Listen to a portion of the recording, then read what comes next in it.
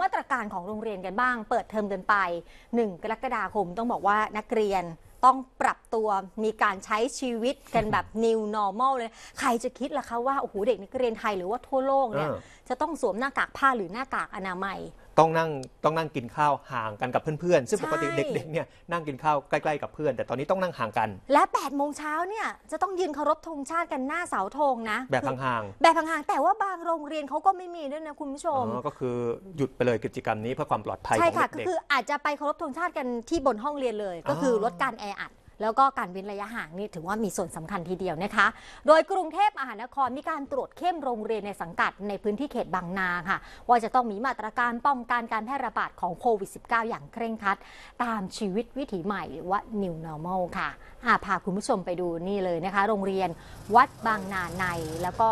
โรงเรียนพ่องพลอยอนุสรเขตบางนานะคะ เขาบอกว่า มีมาตรการป้องกันโควิด -19 กันอย่างเคร่งครัดทีเดียวค่ะ จุดแรกที่จะต้องเจอค่ะก่อนเข้าโรงเรียนนี่เลย เป็นจุดคัดกรองอุณหภูมิร่างกายก่อนที่จะเข้าโรงเรียนนะ จุดนี้เขาก็มีหลายอย่างมีเจลแอลกอฮอล์ล้างมือนะคะ มีการเว้นระยะห่างระหว่างนักเรียน การแบ่งกลุ่มเรียนรวมทั้งให้นักเรียน แล้วก็บุคลากรทางการศึกษาเนี่ยจะต้องสวมหน้ากากผ้าหรือหน้ากากอนามัยกันอยู่ตลอดเวลาค่ะ ครับ โดยนางวัลยาวัฒนรัตน์รองปลัดกรุงเทพมหานครเองก็บอกว่า กรุงเทพมหานครมีความห่วงใยสุขภาพอนามัยของนักเรียน แล้วก็บุคลากรทางการศึกษา โดยในส่วนของโรงเรียนในสังกัดกรุงเทพมหานครก็มีมาตรการป้องกันการแพร่ระบาดโควิด -19 อย่างเคร่งครัดทีเดียว นอกจากนี้ยังมีโครงการ School Zone Safety Zoนค่ะ ก็จะมีการจัดเจ้าหน้าที่เทศกิจ ไปคอยอำนวยความสะดวกด้านการจราจรด้วยครันะบเปิดเทอมวันแรกอย่างที่ทราบกันดีนะคะ หลายพื้นที่อย่างในกรุงเทพเองก็มีปัญหาการจราจร แล้วก็ที่สำคัญเนี่ยก็เป็นความปลอดภัยที่บริเวณหน้าโรงเรียนด้วยนะคะ โดยรองปลัดกรุงเทพมหานครมีการเน้นย้ำให้นักเรียน แล้วก็บุคลากรทางการศึกษาค่ะ ต้องปฏิบัติตามมาตรการความปลอดภัยก็คือ สวมหน้ากากผ้าหรือหน้ากากอนามัยเป็นประจำเมื่อออกนอกบ้านนะคะล้างมือบ่อยๆ อันนี้สำคัญมาก ลองไปดูซิสำรวจตัวเองซิขาดตกหรือเปล่านะคะ ทุกครั้งนะคะ ก่อนหรือว่าหลังทำกิจกรรม เว้นระยะห่างระหว่างบุคคลนะคะเพื่อเป็นการป้องกันการแพร่ระบาดของเชื้อโควิด -19 พร้อมทั้งให้กำลังใจแก่นักเรียน แล้วก็บุคลากรทางการศึกษา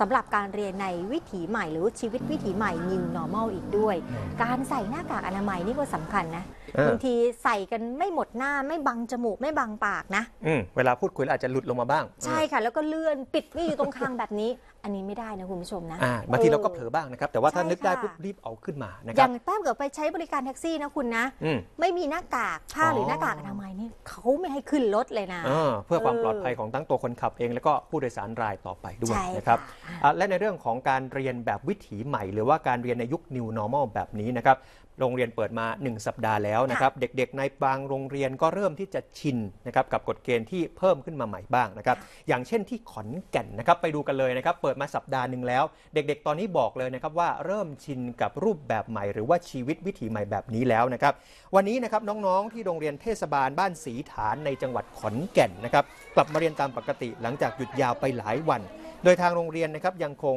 คงมาตรการตรวจเข้มอย่างเข้มข้นนะครับ ทั้งนี้ต้องบอกเลยนะครับว่าทุกคนเนี่ยต้องสวมหน้ากากเว้นระยะห่าง ซึ่งจากการประเมินในสัปดาห์แรกเนี่ยเด็กๆ สามารถทำได้ดี จึงจะเปลี่ยนการเรียนการสอนจากที่ให้เด็กสลับกันมาเรียนเป็นกลุ่ม A และกลุ่ม B ตอนนี้ก็ให้กลับมาเรียนแบบเต็มจำนวน แต่ถ้าห้องไหนเนี่ยมีนักเรียนมากเกินไปก็จะแบ่งออกเป็น 2 ห้องนะครับให้แต่ละห้องเนี่ยมีนักเรียนไม่เกิน 20 คน เพื่อไม่ให้เกิดความแออัด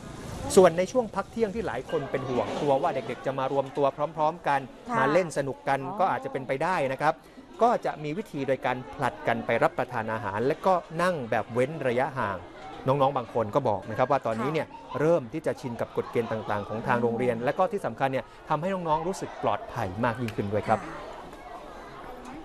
จากการที่เราประเมินก็พบว่าเด็กปฏิบัติ ตามมาตรการการป้องกันการแพร่ระบาดได้ดีนะคะ ซึ่งเราก็ได้มีการพิจารณาร่วมกันว่าเราจะมีการให้เด็กมาเรียนครบทุกคนนะคะ โดยโดยที่โรงเรียนก็ยังคงกำหนดระยะเอ่อมาตรการเหมือนเดิมนะคะ ในสัปดาห์นี้เด็กก็เริ่มมาเรียนทุกคนยกเว้นอนุบาล